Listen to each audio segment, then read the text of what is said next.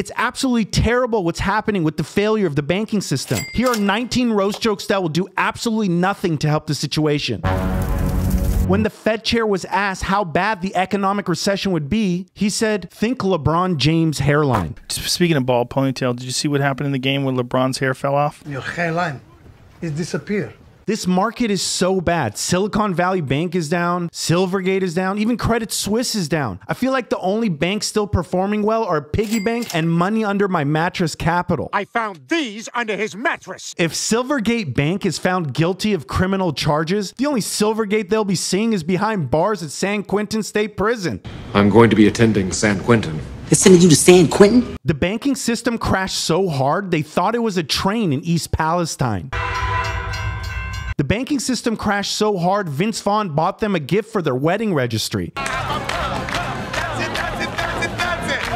The banking system crashed so hard, it started paying me rent to sleep on my couch. This is so bad. Oh! Follow me here, okay? SVB is like an STD that needs FDIC, ASAP, no BRB. Startup founders will go UFC on their FACE because their SFVC doesn't want to live in an Airbnb, you see? The stablecoin USDC lost its peg to the dollar, while startup founders got pegged by Silicon Valley Bank. Did he just roll over and take it from behind? The USDC stablecoin is as stable as Will and Jada's relationship. An entanglement? Yes.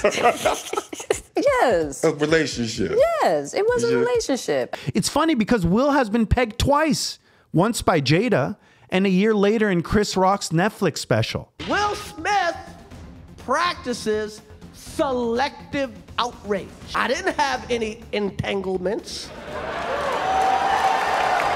Everybody in here have been cheated on. None of us have ever been interviewed by the person that cheated on us on television. USDC is as stable as President Biden walking up a flight of stairs.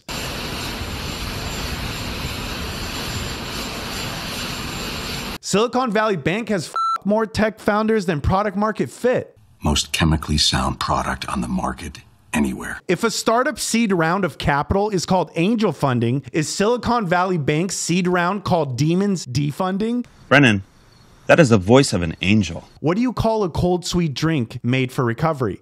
FDIC. Fucking slippy brain free. Silicon Valley Bank has rug pulled more tech investors than FTX, and these fools get away with it every time. I hope there's justice this time. Order in the court. But I have a feeling I'm gonna get a call in a few months saying all the Bankmans were freed.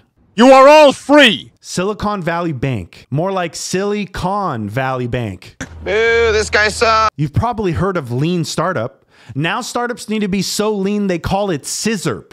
Some NyQuil chicken. Oh, sometimes this steam really makes you sleepy. What you're looking for is that blue color right there. Silicon Valley Bank is gonna break up more startups than co-founder egos. So what? We just won't break up. I actually heard that when Silvergate Bank collapsed, they were forced to change their name. What are they called now? Wooden Fence? Don't worry about that. Made of wood. It's real sturdy. I hate to say this, but tech startup founders are screwed. It's going to take so many steps to recover their funds. Banks will make tech founders take more steps in recovering funds than they do in Allbirds. More steps than a recovering alcoholic in AA. More steps than the Great Wall of China. More steps than the Leaning Tower of Pisa. More steps than the pyramids in Machu Picchu. Machu Picchu. What I'm saying is that startup founders need to take a lot of steps to get their money back.